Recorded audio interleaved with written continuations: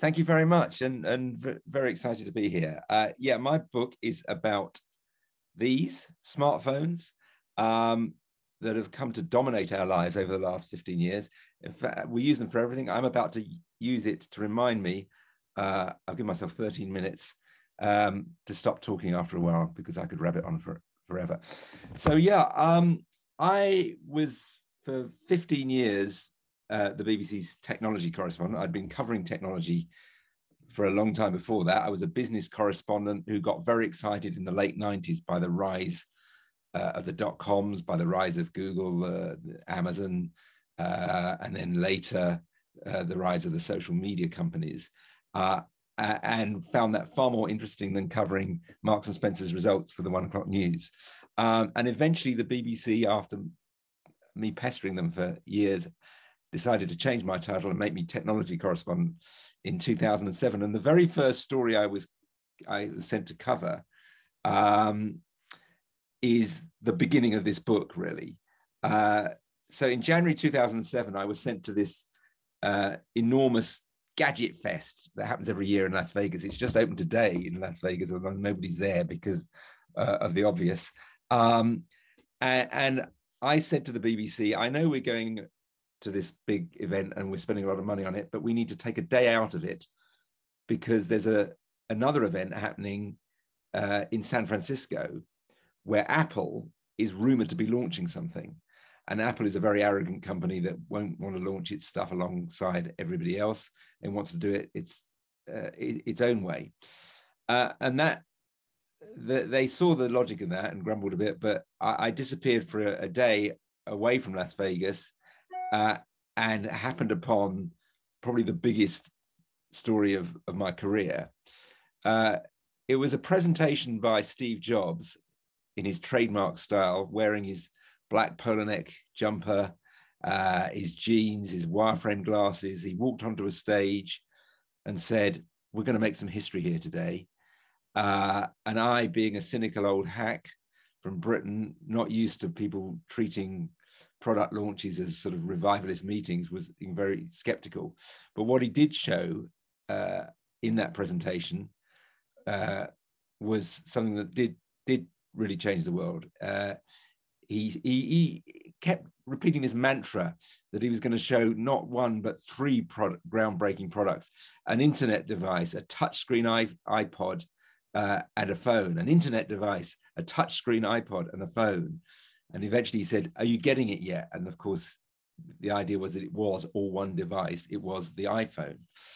Um, and although there had been other smartphones before that, or smart devices, notably, I happen to have this sitting by my desk because I've been talking about the demise of BlackBerry in, in, in the last couple of days. Uh, the, the, the BlackBerry was, you know, the device that first showed that phones could be more than phones. Um, the iPhone was was the one that really changed everything and launched uh, that era where we all became uh, obsessed with being connected all uh, all, all, the time uh, and running our lives via these uh, slabs of glass. It, it, it, it was such an intriguing device when it was unveiled that uh, for once, my producers back in London were very excited about it. They were usually very blasé about technology stories. And I was called as I rushed out of the hall and told, You've got to get your hands on it. And one of the stories in the book is I, I, I said that was impossible because Apple is a completely controlling company. Uh, but I did manage to get my hands on one for my piece that, light, that night. And the following weekend, um, uh, I was uh, described in The Observer by the technology columnist John Naughton as looking like a French peasant holding a piece of the one true cross. Uh, uh but it was an important moment uh, because uh, from then on, the internet, the original dream of Tim Berners Lee with his World Wide Web, which had been around since 1991, uh, as something that would be uh, uh, a democratic space in some ways, uh, something that was not just a broadcast medium, but was an interactive medium. That was really realized through these this smartphone uh, era. Uh, and what the book documents is the rise not just of the smartphone, but of what came with it uh, at, the, at the same time, which was these incredibly powerful social networks. So if we think about the dates, 2004, Facebook was born.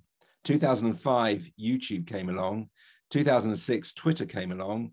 And then 2007, the iPhone arrived.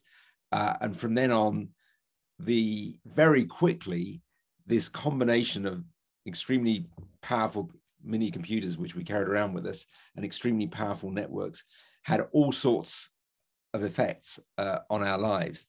And the book is has got a sort of story arc. The first section is about how swiftly everything changed uh, and how optimistic people were about this technology in many ways. Um, uh, how it was accompanied as well by the rise of artificial intelligence. I talk a lot about that. Um, and how many areas of our lives uh, it, it, entered.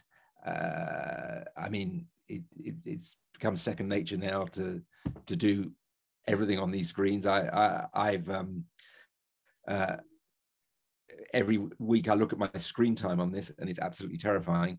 And I think that's the, the case for a lot of people. But we did feel excited and positive about the technology, um, and that that optimism I describe as peaking really in 2012 at the London Olympics when Tim Berners-Lee took to the stage and sent a tweet around the stadium saying this is for everyone. And what we'd seen was people with smartphones using social networks the previous year, for instance, um, to initiate what was called the Arab Spring. A lot of that was put down, for instance, to Facebook. Uh, we'd seen people use these social networks to connect theoretically on an equal level with with politicians and celebrities. The, they were seen as a dem- dem- democratizing force. Um, so there was, for the first five years of this era, uh, huge optimism about what it was doing uh, to to our lives uh, uh in many ways. But then, of course, uh, we began to see the negative sides. And the, the, the, the second section of the book um, documents just how concerned we became uh, about uh, the obsessive nature of these devices, uh, and in particular, the malign influence uh, of social networks powered by the fact that billions of people were getting online for the first time and using these networks to connect, which seemed positive at first until we realized how easily they could be manipulated for malign ends. So uh, there is a chapter about the obsessive nature of the phones, uh, which is called Always On, uh, about how much time we spend on them. Uh, there's a, uh, a chapter about, um, there's a, a, lot about the, the, the Cambridge Analytica affair, which uh, woke us up to the fact that these devices uh, and these networks can be used uh, in all sorts of dangerous ways to manipulate the way we think and the way we vote. Um, and there's a, a, a, in particular, a chapter on on hype, the, the amount of uh, hype that has surrounded this technology, uh, and, and uh, the at first un, un, uncritical, to be honest, by journalists' attitude to many of the companies involved. We've had a great example this week uh, of uh, what what that hype does with Elizabeth Holmes, the the founder of Theranos, the blood testing uh, company in in Silicon Valley, being convicted of fraud. Um, the era we we went through this era of move fast and break things, that, that Facebook slogan, where technology companies showed extraordinary arrogance and their backers thought they could do no wrong. Um, uh, so that that is the second section of the book, um, the the sort of descent and and and uh, of uh, of the smartphone and social media in terms of the public uh, acceptance of it and attitudes towards it uh, in in terms of um, uh, it, it's it's negative influence on our lives in so many ways. And then there's a third section of the book, which had always been meant to be uh, about health, uh, because the context of the book is that I started writing it um, when I had been diagnosed with Parkinson's disease and had gone public about that, and a publisher came to me and uh, suggested this book, uh, and I was going to bring it all together with uh, what I hope was going to be an optimistic ending, saying, for all the, the negatives about this technology, there is great hope that they can make a big impact on healthcare uh, in all sorts of ways, supplying all sorts of data uh, to, to monitor uh, diseases, um, using artificial intelligence to find new drugs and so on and so forth. But of course, I started writing the book in January 2020, and by March, I'd retreated to this attic and we were in lockdown. Uh, and that kind of slightly changed the course of the book. And it became a reflection, the, the last section, on uh, what the pandemic taught us about the good and the bad side of this technology.